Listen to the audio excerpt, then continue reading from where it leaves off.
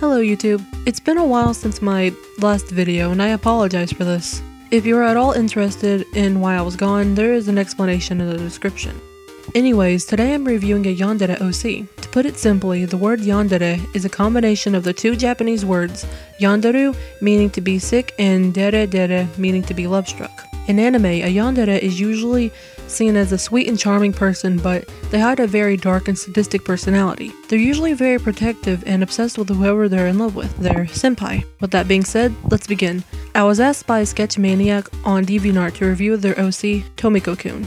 Starting with the appearance, I think is adorable. I love the drawing style, the only complaint I have is that the line art is kind of messy. Some of the lines don't connect and they seem really uneven.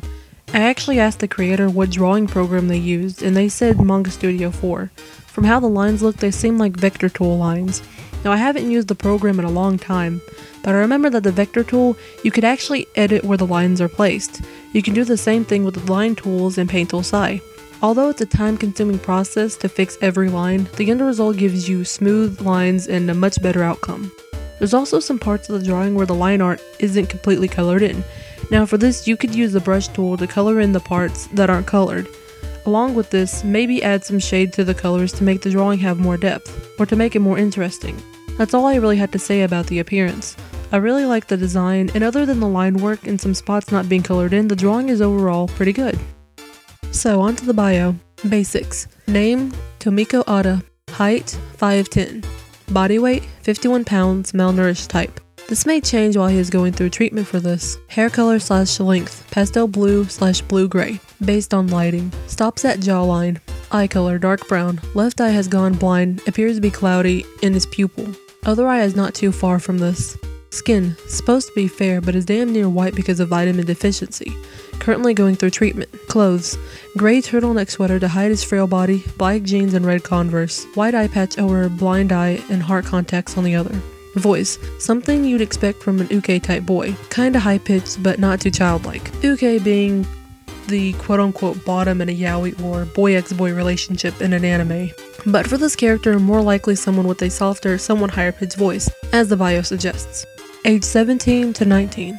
If he lets you lift up his shirt or pull down his pants, you can see his burn marks and scars everywhere. Personality tends to keep to himself, unable to cope with rejection. A manipulative little shit. Soft spoken beta male, sexually maladaptive, socially awkward, and an obsessive, controlling bastard. Real quick, for the personality in particular. Instead of making a list, I think you should make at least one sentence for each trait to give more of an explanation of that trait. Now, I know the personality traits will be explained in the backstory, as in what made them that way. An example would be how he is socially awkward, but if you explain how he acts like that by saying something like, Tomiko is socially awkward. This makes him keep to himself and be very soft spoken around others. Or, because Tomiko is socially awkward, he finds it harder to communicate with others. This makes him soft spoken, which is why he tends to keep to himself. It can give you a better understanding of your character and how they would react to different situations. Anyways, moving on. Hobbies journaling, fish keeping, coding, hacking into Senpai's computer slash phone camera to watch her, undress or listen in if she's talking to someone, and writing about his feelings for Senpai. Weakness. He's basically got little to no muscle at all, so fighting to kill anyone is out of the question. The poor thing gets sick easily because of the weakened immune system. Insomnia keeps him awake because he's still paranoid that his biological parents are out to get him. Thunderstorms remind him of Osamu's loud booming voice when he's about to get a beating. He'll end up in tears if Senpai isn't there to hold him tight and tell him it's okay. Poor self-esteem, suicidal thought, and self-mutilation. Strength. Since he has a demon at his disposal, he can get rid of anyone trying to get close to Senpai, without anyone suspecting him. He has a greater understanding of computers and hacking more than anyone, so if he wanted the nuclear codes, he'll get them. Dating Senpai has given him a sense of self-worth, so he doesn't need to feel less of a person anymore. He now has a counselor to help him deal with the mental disorders. Loves. His new parents a 90 gallon goldfish tank they have set up in the living room. He finds the manner they swim in very relaxing. ASMR helps him go to sleep a lot quicker along with the nightlight and aromatherapy. Senpai holding him like a little spoon and using her fingers to comb through his hair. The betta fish that Senpai has in her room because that too is relaxing. Udon and beef stew that Senpai makes for him during lunch. Adores the nickname Honey Bunch from Senpai as well as Blue Bonnet. Holding Senpai's hand makes him feel more secure and safe. any other kind of affection from Senpai. Playing with Senpai's, um, breasts. Hates balloons and thunder. Both make loud noises and sound too much like a whipping noise of a beating. Being alone with no one else to tell him it's okay. Biological parents, more afraid of them than anything. Any male or female taking Senpai's attention away from him. Raw tomatoes, lettuce, cucumbers, and bell peppers. They're absolutely disgusting to him, but he needs to eat them anyway to get more vitamins in his system, having to take his supplement pills B12, iron, vitamin K, and A. They taste disgusting to him, so Senpai has to encourage him to eat them or hide them in a drink of some sort. Others. Universe that he lives in. The year is 3020. Japan's tectonic plates has collided with America's and they become one country uniting history and culture together. Due to global warming, the countries Canada, Greenland, Russia, Norway, Finland have lost a bit of land because the cap of ice that used to be there is gone and the ocean flooded over. A virus broke out worldwide in the year 2979 because of the global warming and the virus that was frozen on ice was brought back.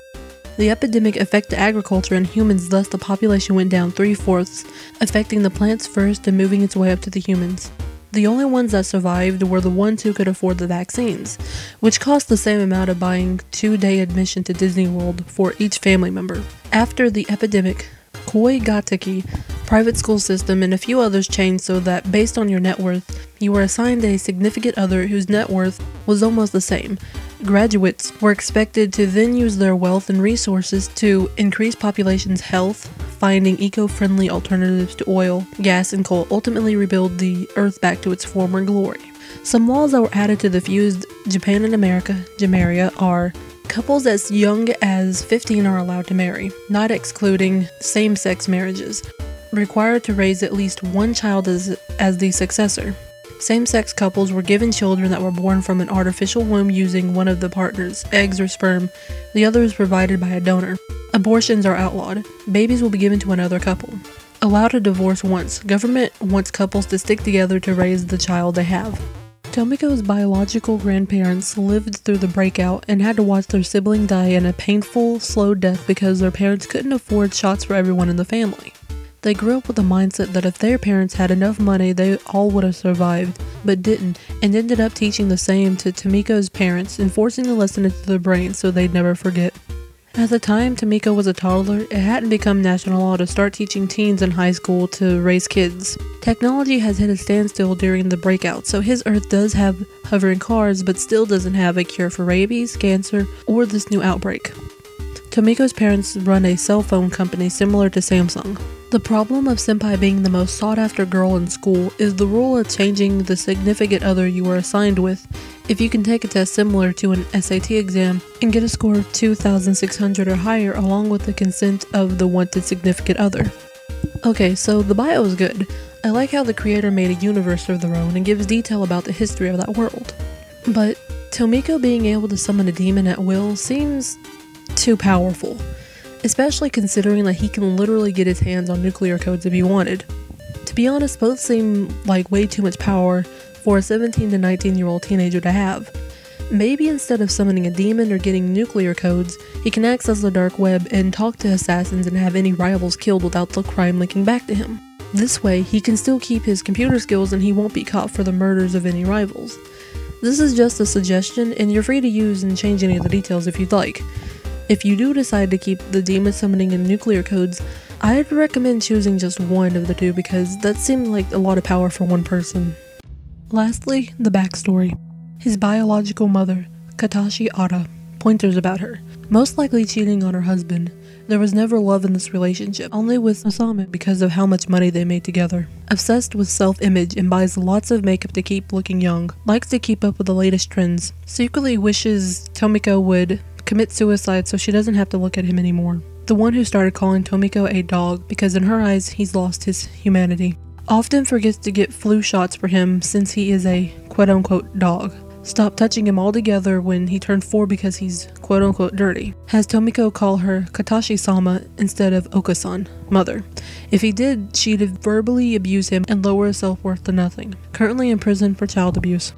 His biological father, Osamu Ada, pointers about him, most likely cheating on his wife, a workaholic, has so many expectations to meet at home, media, and work, so he cheats to get away from it all. Prefers to go to strip clubs late at night so he doesn't have to deal with Tomiko or Katashi. Is the one who buys low quality dog food.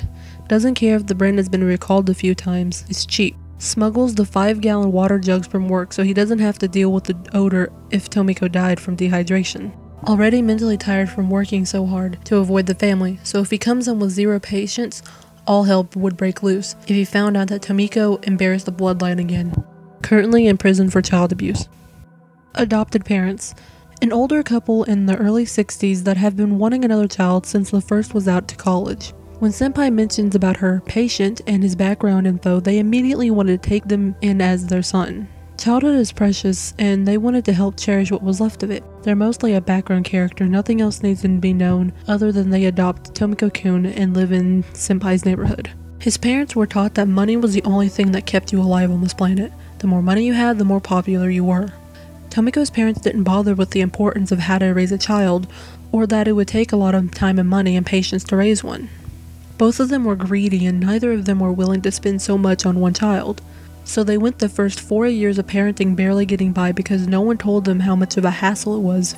Feed the child, burp the child, dress, bathe, lull to sleep.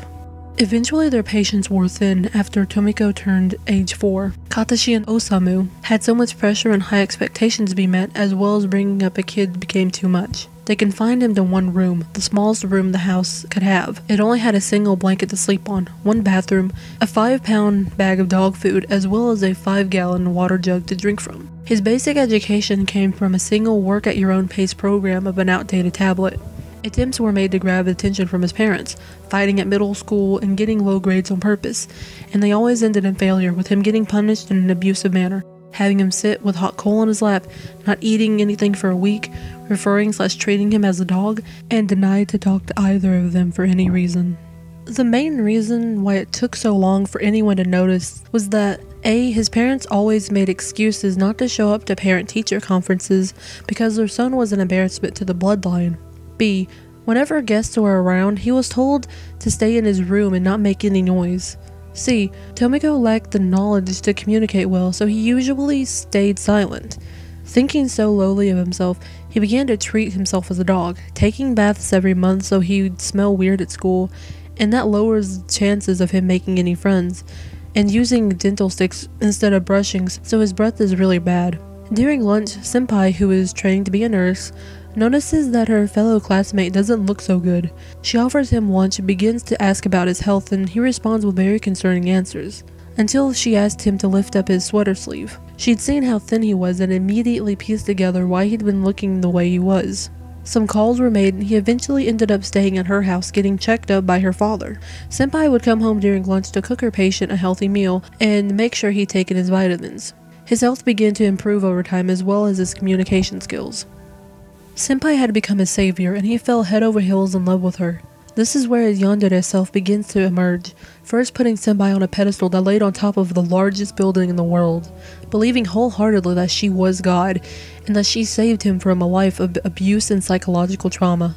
Soon he based an entire religion around it, performing sacred rituals at an abandoned shrine at night, lighting red candles in a circular form with a pentagram in the center, a picture of his God hung above him, Tomiko performed animal sacrifices, taking cats that were out of the wrong place at the wrong time, then proceeded to um, play with himself after the sacrifices were given.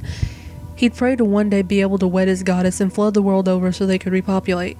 These delusions drove Tomiko to summon a demon to kill anyone that dared disrespect his god, since he was unfit to do it himself. Eventually, six months staying at Senpai's house would come to a close, and Tomiko was given new parents. They were an older couple in their early 60s. They lived down the street from Senpai's house. Tomiko believed this to be another blessing from his god. His surname changed from Ara to Miyabe, True, he won't be able to sleep in the same room as Senpai when he needed to, but since he's now a part of a different family, his net worth has gone up and was able to date and marry Senpai like he wanted to. Unfortunately, it wasn't going to be easy, since Senpai was popular with the boys and the most sought after girl in school, and that Senpai herself only saw him as her patient, so he used her kind and giving nature against her. frequently bringing up sensitive topics like suicide and self harm during conversations or twisting her words in a way to make it seem like she's not being a very good nurse. If she leads him to do a task X and Y, knowing full well that she was uncomfortable with it, but still wanted to help her patient in any way. Soon she began to date him out of pity, allowing his behavior and possessiveness to worsen over time. For example, pressuring her to have sex with him as a means of strengthening the spiritual and emotional bond he has with her. It didn't matter if they did it yesterday, he wanted to feel the pleasure again. Tomiko wanted more of her affection and wouldn't stand to see her leave, whether it be for work or school. Anxiety forbids him to be alone. He has to be with Senpai, or his counselor and new parents, or a panic attack will occur. The schizophrenia doesn't help, either always urging him to find where Senpai is because his parents will somehow escape jail and beat him to death one day. Senpai kind of resolved this by giving him a little routine to help cope with the situation when she isn't around. 1. Taking deep breaths while messing around with the stress slime she gave him. 2. Repeating the words she had always told him, It's okay, I'm here now. And 3. Having a picture of Senpai in mind to help calm him down. So, I really like the backstory. It gives a lot of explanation as to what made Tomiko a yandere. He's not just labeled a yandere for no reason. The creator explained what made him possessive over his senpai, but as I said before, Tomiko being able to summon a demon is too much power combined with having access to nuclear codes. Now, there is a possible way to make this work. If Senpai rejects Tomiko in the future, he could use either the demon summoning or nuclear codes as a threat to make Senpai accept his love. Again, he could also use his computer skills to his advantage by visiting the dark web to hire an assassin. But combining all of that would be too powerful. Again, I'd recommend only using one of those advantages, since both are very powerful on their own. And about him creating a religion, I have to say that I kind of like that idea. It's interesting to see how far Tomiko was willing to show his devotion to the senpai. This is a very interesting OC. I really like the creativity of the universe. The creator gave good reasons as to what turned Tomiko into a yandere. If you're interested in the creator and their OC, I left a link to their DeviantArt in the description. I recommend going to check them out and supporting them and their character. Tell me in the comments below if you want me to review your OC, and I'll be happy to check it out. Anyways, thank you for watching this video, I hope you all enjoyed it, bye!